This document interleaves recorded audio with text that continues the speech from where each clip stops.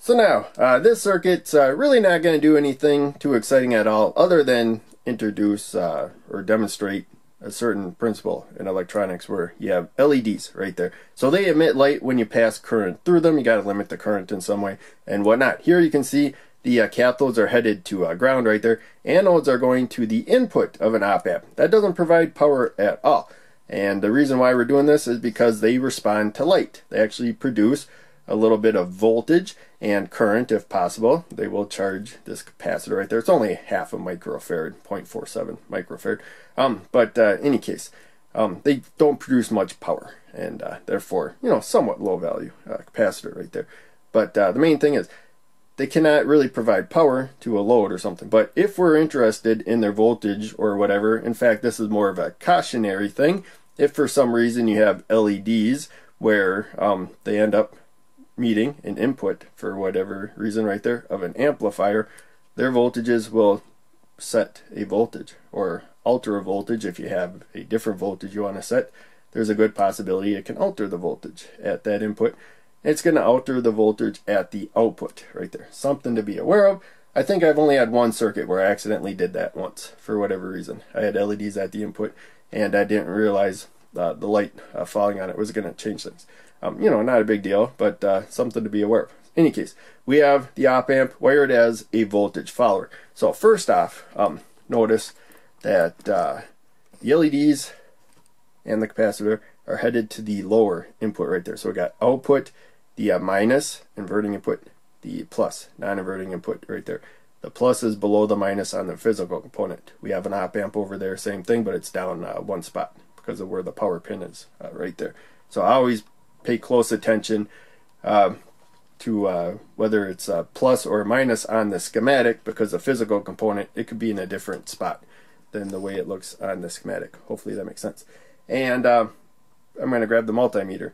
So I uh, changed the uh, lighting setting because there you can see it got a little bit uh, brighter when I got the multimeter there. And uh, if I hadn't changed the light setting, then it would have been a little too bright, I think. So, any case, uh, we're going to measure in relationship to ground. We can turn the meter on. It's auto ranging. All I have to set it to do is set it to V right there. And again, for uh, the schematic right there, we want a voltage measurement at the output. So yeah, I got the alligator clip to the probe right there, and I can plug it anywhere I want on the board. So right now, it's the output that we care about. And it's about 3 volts right there.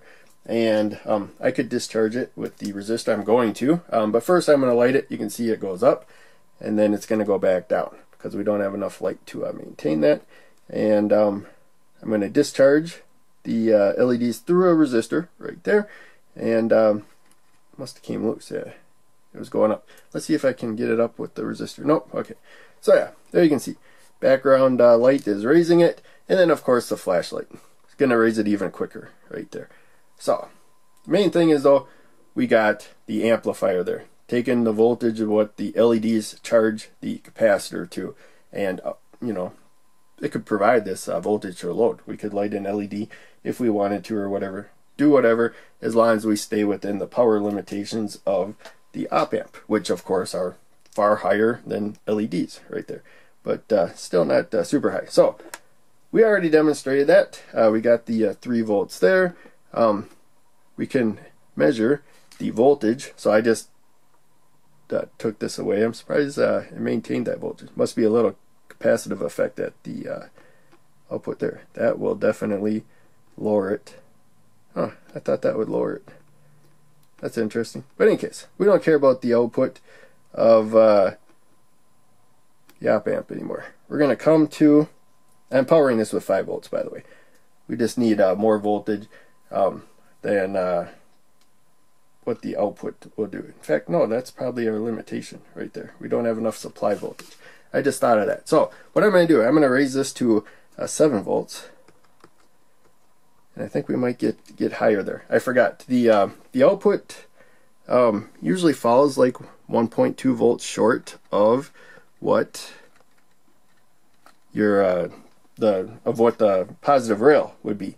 So yeah, maybe we'll be able to get to like 5.7 volts now. Um, because these are red LEDs, they should be able to create a couple volts per LED. So let's check that out. And uh, so yeah, sorry for uh, this being so long, but uh, I just thought of that. I should definitely check it. So yeah, now it looks like we're kind of uh, maxed out at uh, that voltage. But yeah, main thing is we don't need, or we need, if we want to look at that voltage, the amplifier right there. Because if we try to just measure the voltage directly, then uh, it's already uh, discharged. I'm surprised. Um, let's get the uh, lamp on there. Now you see it can charge the uh, capacitor right there. You know, pretty well right there. Um, but the multimeter is lowering it uh, really quick. So if I get like a lighter light on there, it's still uh, discharging. I have to get it uh, pretty close right there to charge it up pretty quick. So yeah, the uh, multimeter is throwing off the uh, voltage of the capacitor. It's discharging it. There's about 10 million ohms of resistance with this multimeter when it is measuring uh, voltage. And other multimeters don't even provide that much resistance. the voltage would be dropping even quicker right there. So again, this is not uh, you know like a, a, serious or You would never you know uh, build this to accomplish any goal for electronics. It's just more of a way of uh, seeing how LEDs can affect your amplifier if for some reason they're going to the input. And uh, the other thing I was going to do, uh, get rid of this capacitor. So first off, the LEDs charge the capacitor. Also, some of these uh, flashlights they don't actually stay on steady. They're turning on and off really rapidly, but you know, much more quickly than your eye can sense. And the camera looks, light looks pretty steady on camera. So this one may not uh, be flashing, but uh, I'm pretty sure this one does. And uh, yeah, I can see more of uh, the camera. Um, I think it smooths out when when I process it. But yeah, I can definitely see a, a flickering going on with the camera uh, here. So this one's definitely turning on uh, and off uh, rapidly. And uh, so you kind of need a, a capacitor. Uh, if we had an oscilloscope, it would be bouncing around. But this is this is more stable because it's just a multimeter. But uh, any case, yeah, that's uh, really about it. Not too terribly exciting. So this video is probably uh, too long already. So I'm going to end it there. Thanks for watching. Make sure you check out one of the other videos I'm posting on the screen. I always turn the multimeter off as soon as you're done using it. And I'll see you in the next video.